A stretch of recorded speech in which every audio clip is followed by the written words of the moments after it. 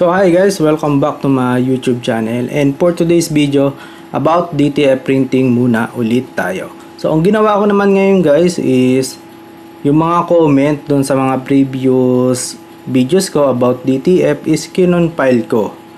Yung mga frequently asked question doon, yung mga experience nila at kung ano-ano pang katanungan is kinonfile ko at sasagutin natin yon isa-isa.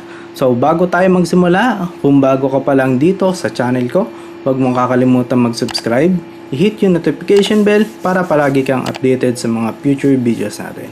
So sige guys, huwag na natin patagalin, let's get started.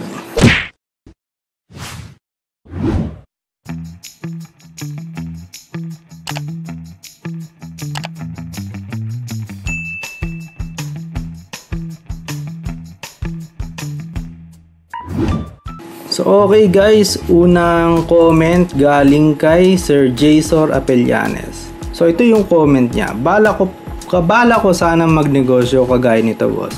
At bibili ako ng heat press, heat press machine at magpapaprint na lang ako ng DTF sa labas.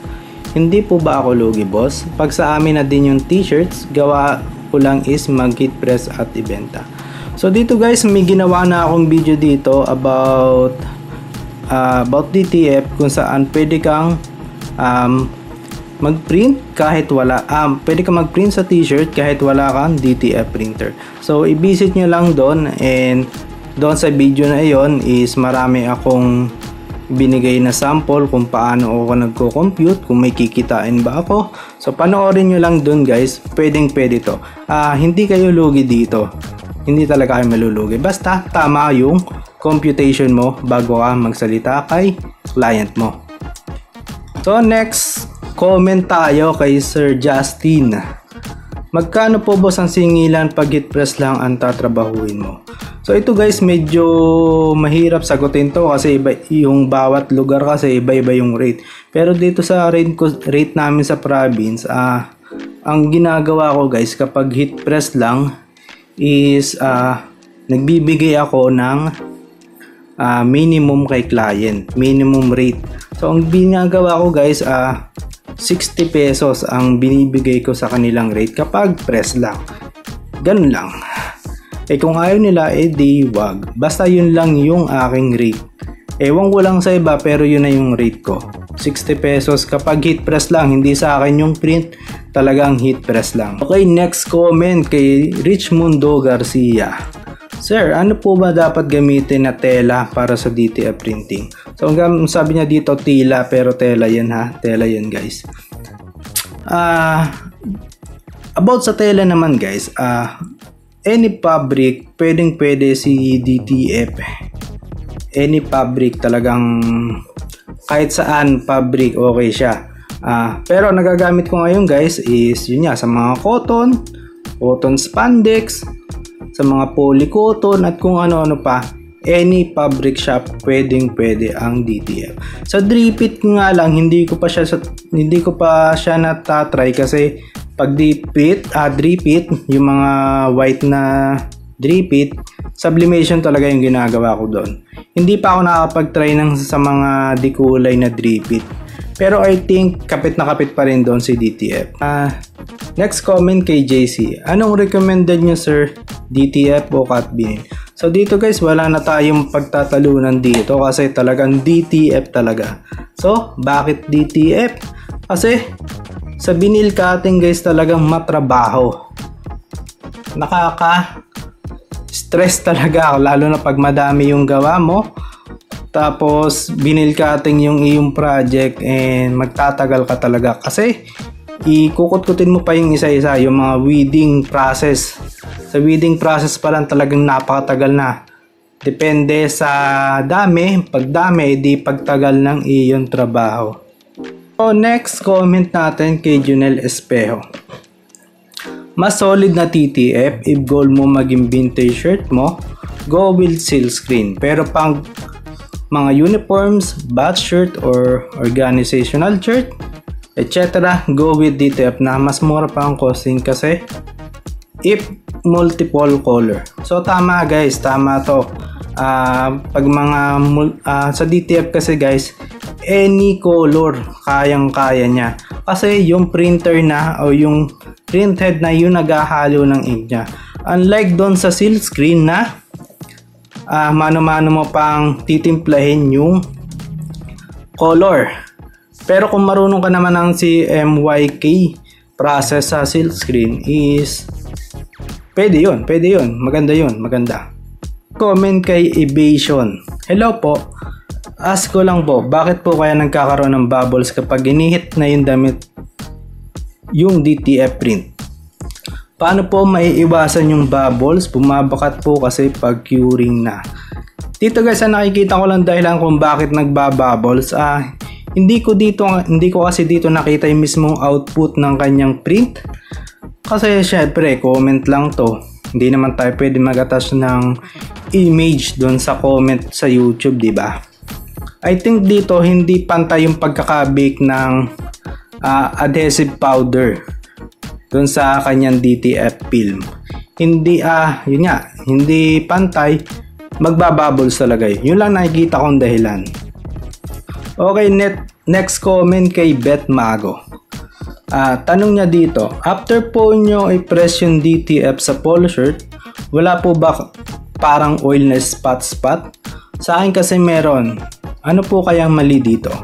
Hindi, makini- hindi makinis tingnan nung ma-press ko na sa shirt. Help naman baka may idea po kayo things. Dito guys, nagka, uh, sinagot ko siya dun sa comment section. Kasi dito guys, yung mga oil na yon galing yon uh, pinoproduce yon ng adhesive powder. Kapag nainitan ulit siya, nagkakaroon ng uh, nagkakaroon ng konting oil pero hindi naman siya sobrang dami.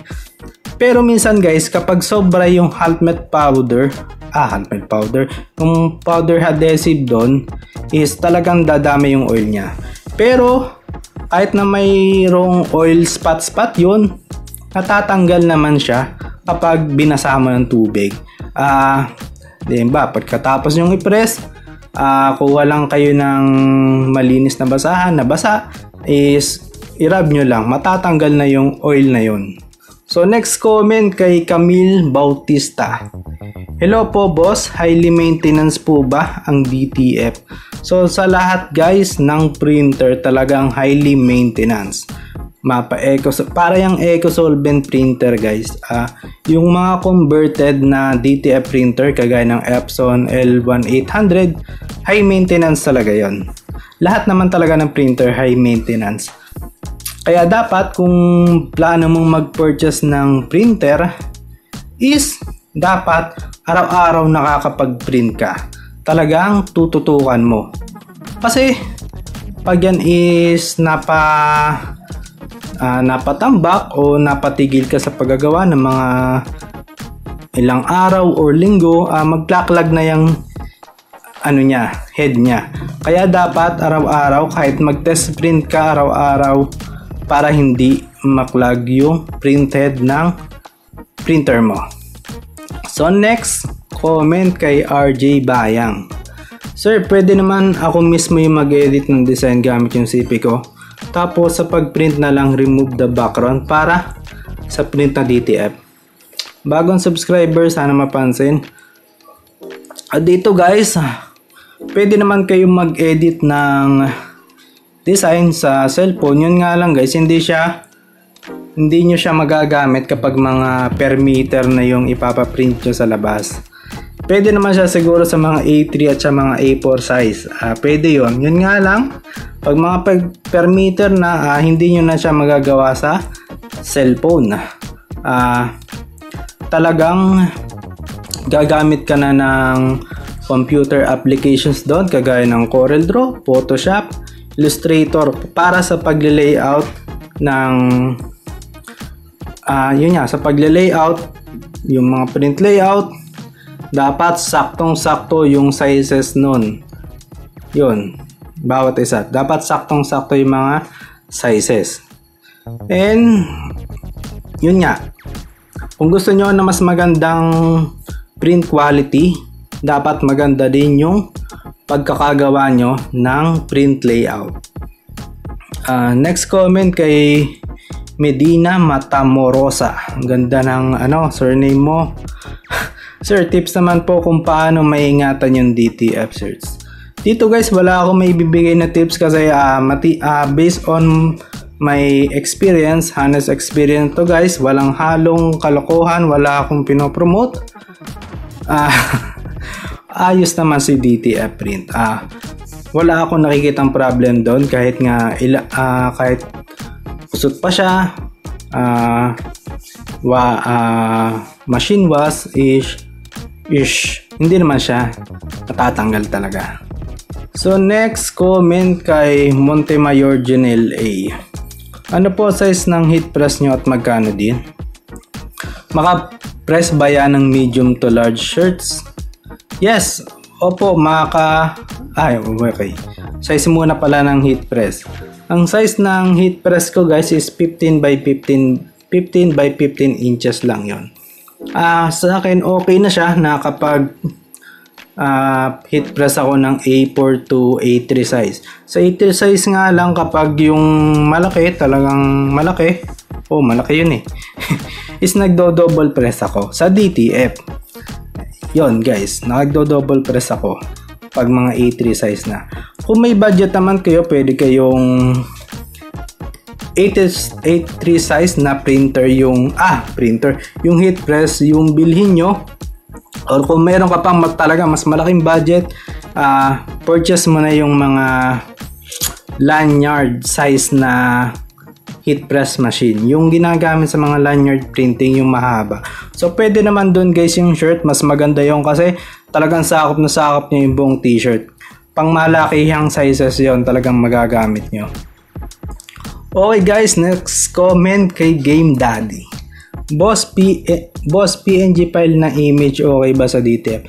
Oo guys, talagang .png file ang ginagamit kapag magpapaprint tayo ng DTF. Uh, ah, .png talaga para no background. No background. Okay, next. Comment kay Bribas. Bribas.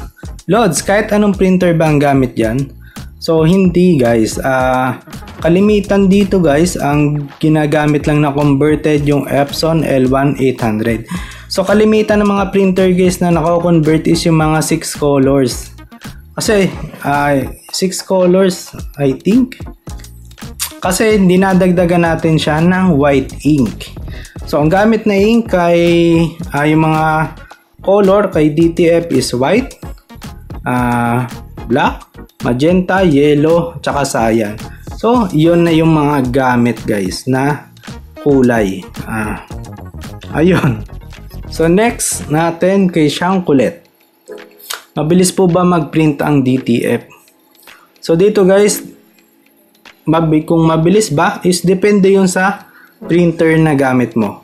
Kung large format yan, mabilis yan. Basta magandang klase yung head uh, based sa nababasa ko sa Facebook, sa mga social media, ang per meter daw sa large format is halimbawa 1 meter is up to 5 minutes daw yung printing uh, yung printing process nila ewan ko lang guys sa mga converted panigurado sa converted kasi matagal yan and kasi malit lang naman kasi ang head ng mga ng mga uh, desktop printer, di ba? Unlike dun sa mga large format. Next comment kay Makalinaw Ichan. Sa quality, mas okay ba ang DTG? So dito guys, hindi ko uh, masagot to kasi uh, hindi pa ako nakakita ng output ni TD, DTG. Pero I think parehas lang sila ng output kasi parehas na ink lang ang ginagamit doon, yung textile ink. Ang kaibahan nga lang sa DTF, kahit sa ang parte ng damit, pwede mo siya itatak basta uh, solid yung ating pagpipress, di ba? Eh sa DTG, I think gitna lang yung ano, pwedeng itatak doon. Ah, pwede lang yung gitna lang. Kung hindi ako nagkakamali. Kasi yun ang nakikita ko sa mga uh, sa YouTube eh. Talagang gitna lang yung natatatakan. And hindi ko alam kung bakit hindi sumikat sa Pilipinas si Direct to Garment. Talagang DTF ang uh, sumikat dito. So ito guys, comment ni Iton Premium. TTF Real Talk tayo. Mainit ang print lalo na pag mainit ang panahon. kahit naka white shirt ka pa. Number 2, nagka-crack daw. Number 3, nagbabakbak. And 4, madaling maluma. Hindi kasi nakasaturate ang print ng DTF. So dito guys, sasagutin natin to. Number 1, sabi niya mainit daw ang print. So guys, um, depende yan. Una, depende yon sa tela. Sunod, depende yon sa design. Kung ang tela na gamit mo is yung mga hindi 100% cotton, mainit talaga yan. Kahit ano pang suotin mo, mainit yan. And then, kapag sa design naman, kung ang design mo is yung solid na solid na design, yung halos hindi na makakahinga yung skin mo, eh talaga mainit yon kahit guys sa silk screen mainit talaga. Sa lahat yon sa silk screen, sa DTF, parehas mainit yon basta ang design is solid. Yung walang butas-butas, 'di ba? Mainit talaga yon. Walang kinalaman si DTF doon. So number 2 daw nagka-crack. So hindi ko alam sa kanila ba uh, kung paano niya nasasabi to. Kasi based on my experience uh, lahat ng personal shirt ko is uh, ah, DTF print. Halos araw-araw kong nasusuot and then laging laba. Hindi naman siya nagka-crack. Yung uh, makikita niyo yung mga previous video ko di ba? Pinakita ko ulit yung uh, sample output na year ago na yung nakakaraan ayos na ayos pa rin siya, bagong bago pa rin yung itsura. Eh number 3 daw nagbabakbak. Nako, hindi. Magbabakbak lang to kapag nahalo, uh, natuluan mo ng acetone guys. Doon lang siya masisira. Pero hindi naman masisira ng lahat ng print tanggal yon. So, hindi, I think, hindi to totoo eh. Sorry guys, ah, hindi ko kasi nararanasan pa to. Kaya sabi ko sa inyo, hindi to totoo. And sabi niya madaling maluma. Ah, hindi. Comment ni Bray. May nakikita ako na DTF na alam mong di matibay. Yung tipos, pa, yung tipos parang sticker ang dating. Meron naman na parang matibay ang tipong halos sumama na yung print sa tela. Baka yung mga convert na printer ata yung parang sticker lang ang dating. So ito guys, uh, naintindihan ko yung comment niya. Kasi nakita ako guys nito sa mga palengke.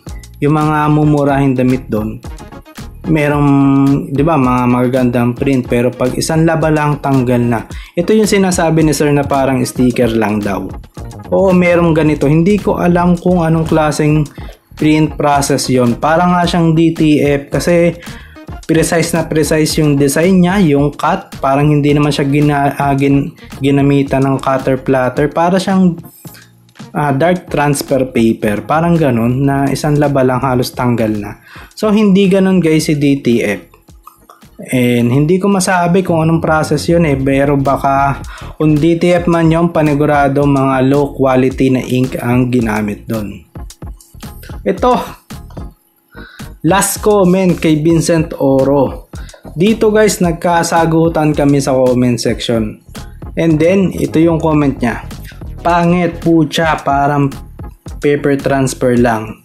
Walang kwenta. Heat press gamit, mainit yan sa katawan. Yung area na may printed. Pinagpapawisan babaho yan, lalo na kung may malaking part may print size ka ng coupon band high pass so dito guys yun nga nagkasagutan kami ni Sir Vincent sabi ko I think mali yung nabili mo hindi DTF yan And doon nga nalaman ko sa nalaman ko dun sa comment based on sa mga reply niya. Ang ginamit niya guys is dark transfer paper. Napagkamalan niya na DTF yon. so yun guys, magkaiba po si DTP kasi sa transfer paper, pangalan pa lang, papel yung gamit doon. Hindi film. Yun po, magkaibang magkaiba po yun. Huwag kayo guys gagamit ng dark transfer paper kasi masisira lang kayo kay client. Sa una lang maganda yung output niyan, hindi yan nagtatagal. Baka linggo nga hindi tumagal yan eh. Kaya huwag kayo gagamit yan guys. Dito sa comment na to ni Sir Vincent, nagsorry naman siya kasi naging toxic siya doon sa comment section. Pero ayos na yon ah, mahalaga na sagot yung kanyang concern at katanungan. So ayun guys, ito na yung mga na-compile kong mga experiences nila at mga frequently asked question. Sana nakatulong ang video na ito sa inyo at sana nasagot yung mga katanungan nyo about sa digital printing process na ito. So kung meron ka pang ibang katanungan, open na open yung comment section natin at mag-comment ka lang. So, ulitin ko, kung bago ka pa lang dito sa channel ko, huwag mo kakalimutan mag-subscribe, i-hit yung notification bell para palagi kang updated sa mga future videos natin. Okay, sige guys, maraming salamat sa panonood. Bye-bye!